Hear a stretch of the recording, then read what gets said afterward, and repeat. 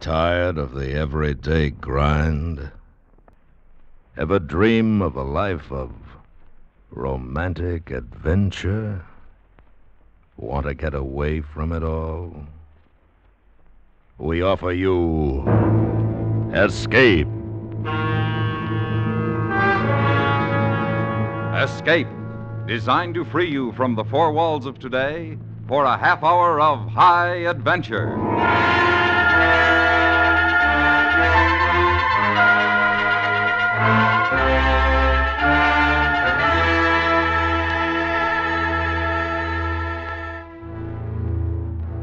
You are alone in a giant forest, seeking a way of escape, while around you, gaining with your every step, the relentless enemy, which is fire, is closing in from every side, until there will be only one way out, and that way is death. So listen now as Escape brings you Anthony Ellis's exciting story, The Red Forest.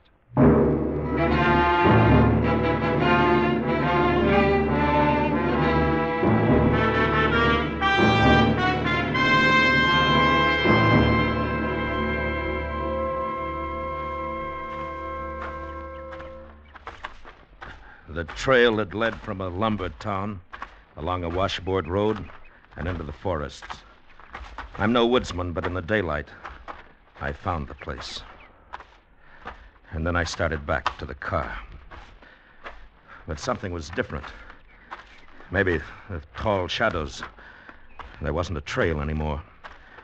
Only streams where there hadn't been before. Trees that were the same, but weren't. And sounds. Sounds that, when you were a kid on a hike, were fun. And now they scared you. I'd thrown my last cigarette away three, four hours before. And that's when the fire had started. And it was then that I started to run. Run.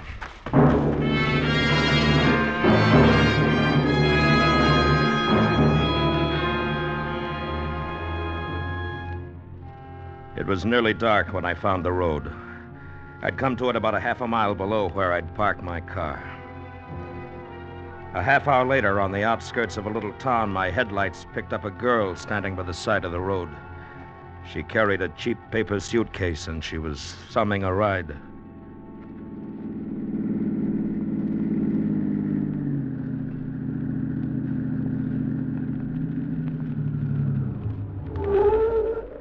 Can I get a ride, mister? Sure. Oh, Uh, put your case in the back. oh yeah.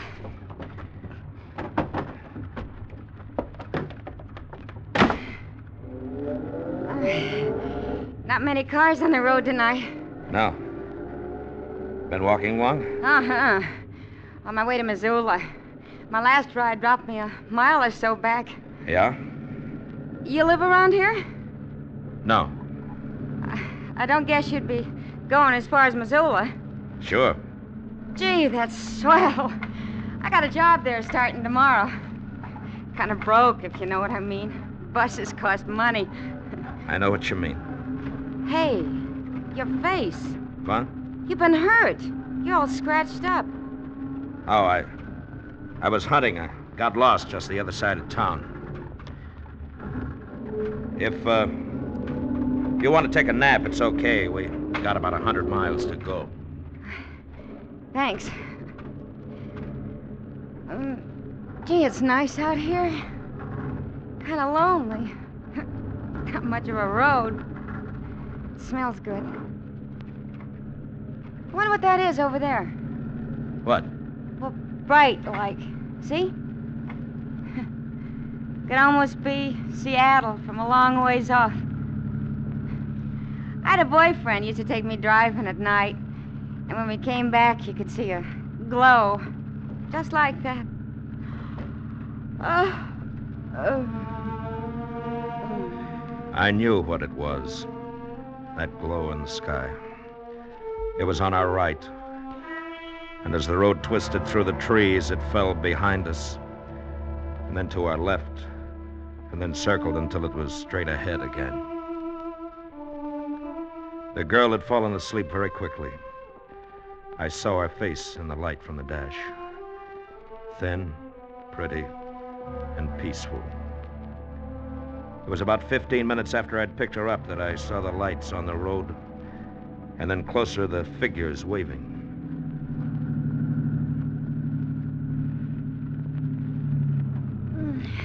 Hey, are we there already? I just got to sleep. No, there's something wrong. There's a cop coming this way. What's the trouble? Plenty. We want you, mister. Wait, you want me? Fire. Bad one. We gotta have every man we can find. We can use her, too. Oh, Hey. well, well, look, I'd, I'd like to. but Roll! Okay.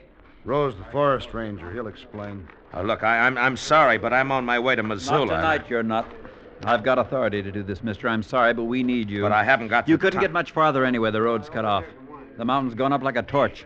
If it spreads, there's three towns gonna go too. Come on, I got some clothes and boots for you. Hey, what about me? I gotta get to Missoula. I got a job in the morning. Sorry, sister. You got a job serving coffee here. You cops. Five dollars a day. A day? Or longer. It depends. Let's go. There was nothing else to do, so I got into the clothes the ranger gave me and then stood around and waited. I wasn't tired anymore, just scared. Scared of going into that forest again. The wind came up a bit, and with it, the smell. Smell of burning. Smell of death. A long way off, but closer than the glow had been, we could see flickering against the sky and it was in a lot of places. And then suddenly it was too warm and too quiet. All right, you guys. The telephone's burned out. I've made contact with a shortwave set. You, uh, Mister, what's your name? Pindell? Pindell. Ever use one of these? What, a walkie talkie? Yeah, sure, I was in the signal corps. Okay, you'll carry it. Now listen, this is bad. It's real bad. The fire's got behind us. We can't get any more men through here for several hours. They've got to come around from the other side. That's 30 miles. What's the use then? Let's get out. Crowbar. Yeah. I'm putting you in charge. You know what to do. Get in as close as you can to the river and set a backfire. Sure. I've got to stick here with the transmitter. I'll let you know what's happening. Sure, you stay here with a pretty girl, or we go and get fried. Shut up, Hanson, you'll have to go with them. Three's not enough. Sure. Well, the cop's gonna do some work. You better take along some food and canteens. Now step on it. Hi. Got a couple of sandwiches I made up. Here. Thanks. This sure is something, isn't it?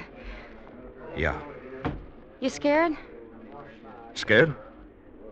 Why? Your face is white. You scared?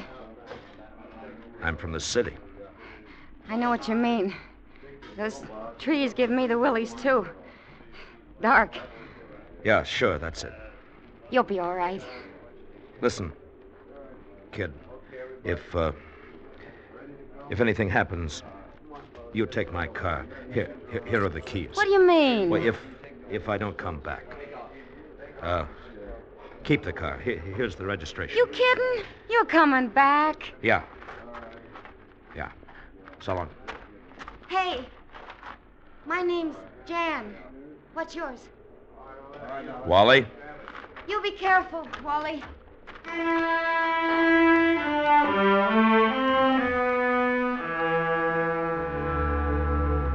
We went into the forest. Men with spades, men against fire and terror. There was the man they called Fat. 300 pounds of ungainly body topped by a tiny and almost disgustingly childlike face. There was Crowbar, a big, dark man, quiet and filled with a knowledge of the woods. Hanson, the state trooper, thin and wiry, his natty khaki shirt stained with sweat and dirt and me. We'd gone about a mile when we first heard it. It came in gusts with the wind high above us. Wait a minute.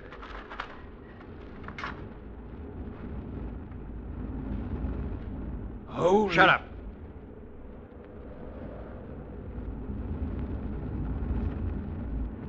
Let's get out of here. About three miles, I figure. It's coming fast. We're about that far from the river, aren't we? Yeah. Yeah, listen, you guys. If it's crossed the river, we're sunk. Let's get out. Hey, Wally, Yeah. get Roe.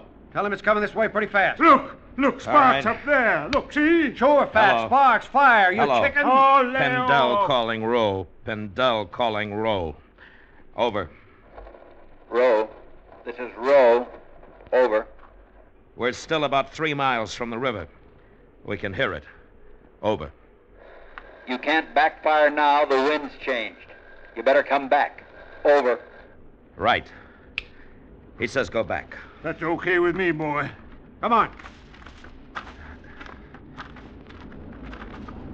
Gee, listen to that. I wanted to run again. That same feeling I'd known before. The fear all around us closing in and down. There was no sky above, only blackness, tinged with red, pressing. And behind, the living forest running, overtaking and passing us. When we reached the road again, the sound was steady. But I had a strange feeling of relief when I saw the forest ranger and the girl, Jan. It was like coming home. I think it was then that I stopped being afraid. Come on, Roe. We can't do no good now. We got to try and join up with the others. What do you mean? The fire's on three sides of us. That means we head southeast. Oh, can't we take the road back? No, it's cut off. There's 200 men trying to keep a path open for us. We've got to make five miles and in a hurry. Bad as that? It's worse. If we don't get there in time and they can't make a fire break, we're going to be smack in the middle, and there's not going to be any way out.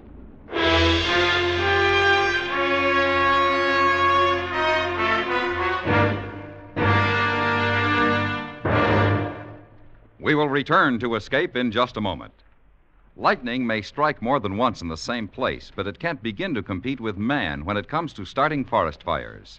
For one fire caused by lightning, supposedly rational humans cause nine by trifling carelessness with matches, cigarettes, and bonfires. We need our forests for timber, to conserve our water supply, to add beauty to our lives. Let's not burn them up. And now, back to Escape.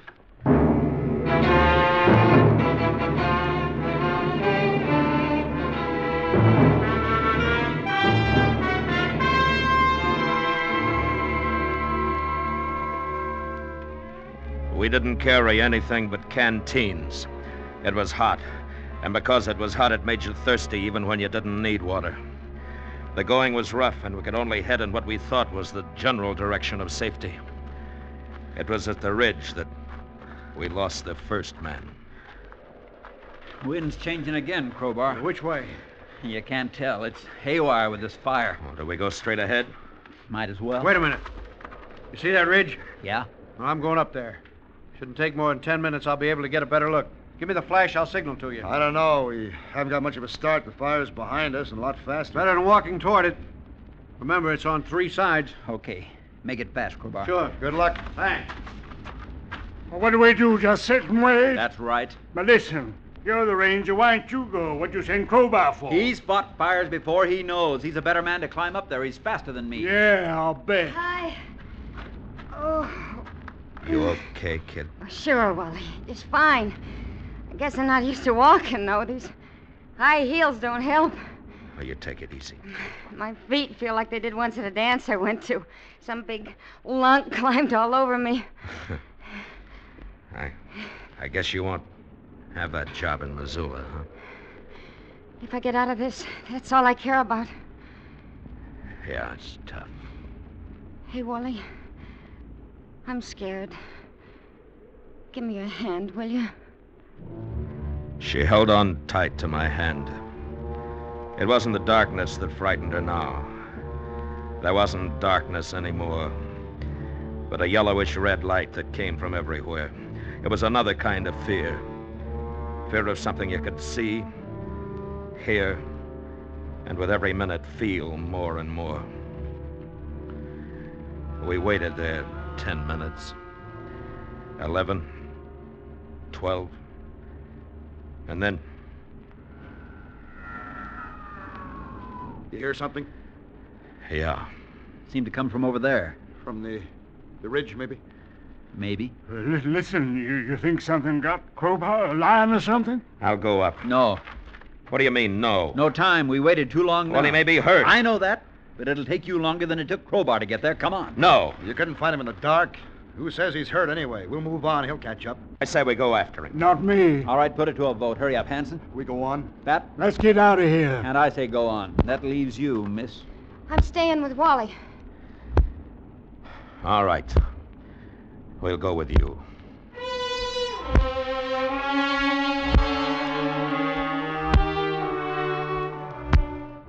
We never saw Crowbar again.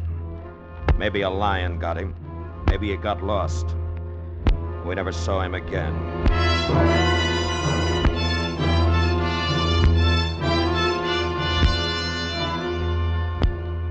The ranger went ahead, finding trails somehow, keeping us moving. We began to climb, and after a while, we were on another ridge. And for the first time, we could see the fire. It stretched out for miles, like a huge red sea, and it was all around us. Oh, gee, Wally. Yeah, I know, kid. I know. Will it hurt much? I don't know. Take a breather. I'm going to try the walkie talkie again. He's not scared, is he? I guess not. Is that because he's a ranger? Because he's very brave? Jan, you're a funny girl. No, I'm not. Hey, What? Sure. Why did you want me to do that? I don't know. You're a nice fella. I'll miss you. Listen, Jan. I want to tell you something. What? If we get out, well, maybe. Yeah. Look, I, I, I'm all right. I mean, maybe we could have fun together. I know. Well, I did something wrong once. I, I killed a man. Why? He framed me. He got me put away for something I didn't do. We were driving in the east and ran over a woman.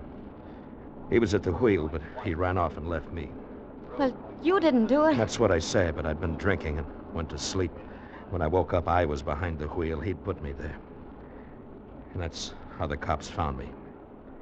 I got five years. Oh, I was married. I lost my wife, my job, my friends. And I swore I'd get my pal. And I did. He knew I was after him and he ran. But I caught up with him. I don't care. Don't you?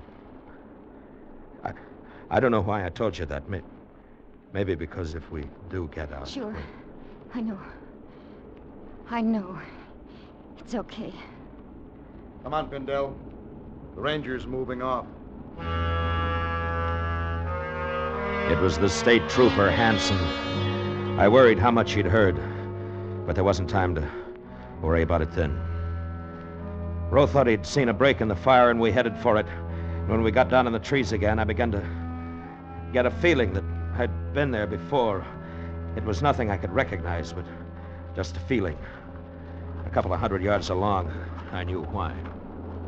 Hold up. There's a shack. Looks like someone's living there. Better have a look. The door's open.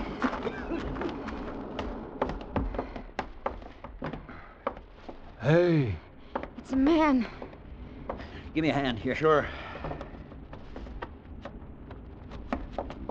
He's been shot. Yeah, a few hours ago from the looks of it. You think the man who did this might have started it? Well, what do you mean? The fire. Started a few miles north of here. We figured somebody got careless with a match. But maybe it was the killer running away. I'd like to get the fellow who did that. Maybe I will. Me too. Well, we can't do anything here. Come on. From there on, nobody talked. It was hard enough to lift your feet. Jan was nearly through. I half carried her. If Rowe knew where he was leading us, he didn't say. We followed and knew that sooner or later we'd stop because we were too tired to go on. Fat was the first. Listen, fellas. Wait, wait a minute. You've got to go on. There's still a chance. All right. Just for a minute. No. Need rest. No, please, one minute, that's all. Get up. No, I can't. I can't. Okay, you stay here. No, no, no. Well, then come on. But I, I tell you, I can't. Well, I'm sorry. Uh, Catch up to us. Uh, stay on the train. No, no. Come on, Jan. We're gonna leave him. We have to. No, don't leave me. The fellas are coming. Fellas, please, this way. Can we help him? Oh, we're almost dead ourselves. I can't. Fellas, let me play. One minute, please.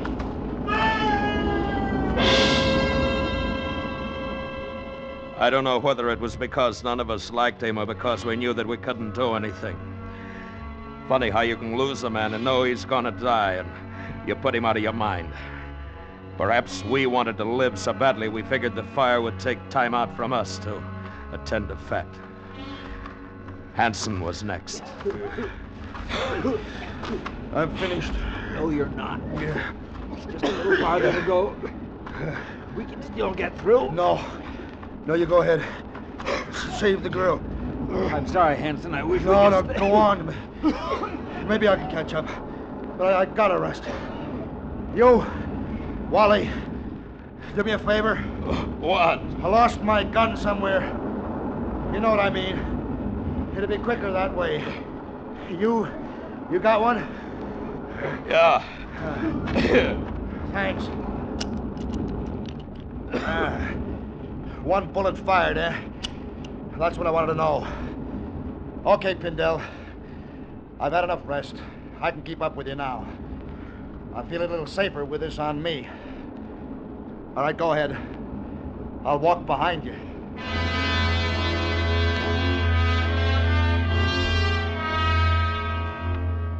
He knew. He knew what I'd done. But I didn't care now. It wasn't important anymore. Right now, all I wanted to do was get Jan out of this. What was that? It was behind us. It sounded like Hanson. Come on. Come on, but watch that ravine. He must have fallen. We gotta help him. There's no time. We got to. Oh, he didn't help Fat. Why him? I don't know. Please. All right. All right, stay here. Hanson! Hanson! Down here. But keep calling! Here. Over to this way. This way. Okay. Oh, oh, my, my leg. Hey, can you get up? it's broken, I guess.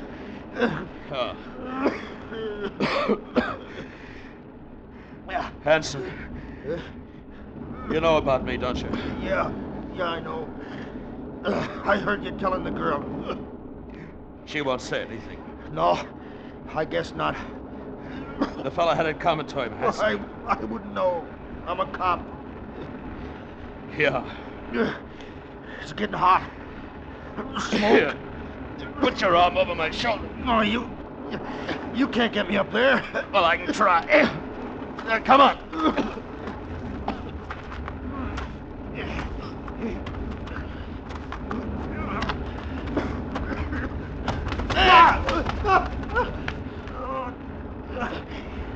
No good.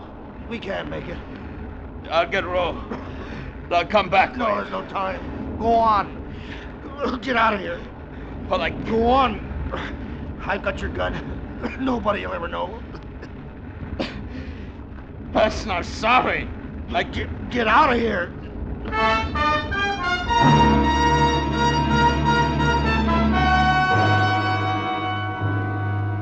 Somehow I made it up the trail again. I thought I heard a shot. Or maybe it was a burning tree going down. Jan was waiting for me. We caught up with Roe and went on until the trees began to thin out. And we heard the shots of men. And I don't remember anything else because I passed out for a long time.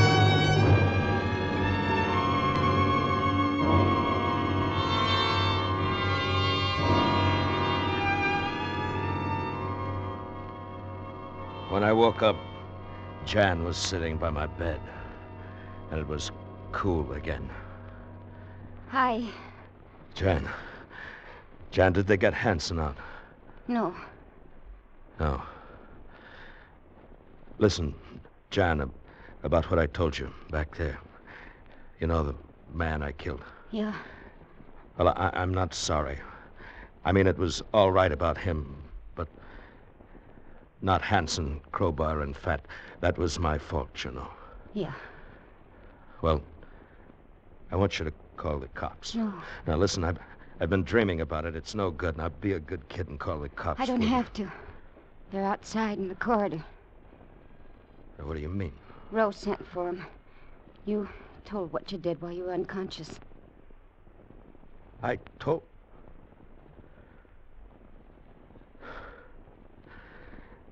Oh, that, that's good. That's good. I'm glad. You want me to hang around? Well, that, that's up to you, I guess. I guess it is. I'll hang around.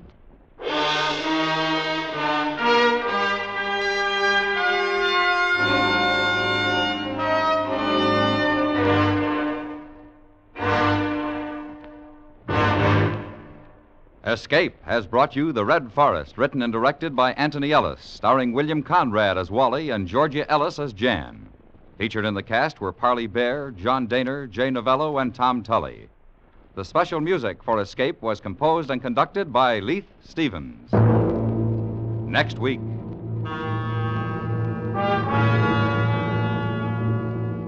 You are in a lighthouse off the steaming coast of French Guiana, while around you, frightful in its fury, a nightmare of terror and violence is closing in on you.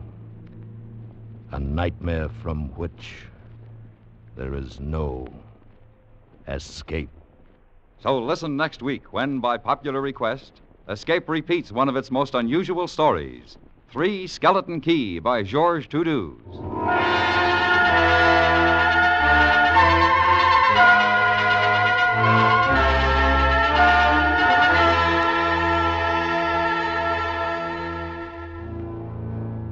Those favorites of millions, yours truly, Johnny Dollar and Mr. and Mrs. North, make for highly exciting listening on as Johnny prowls the world for adventure and the Norths meet murder merrily. Now, most of these same stations also bring you 21st Precinct. Great stories based on the world's largest police department. Consider this an invitation to excitement and adventure Tuesdays on CBS Radio. This is George Walsh speaking.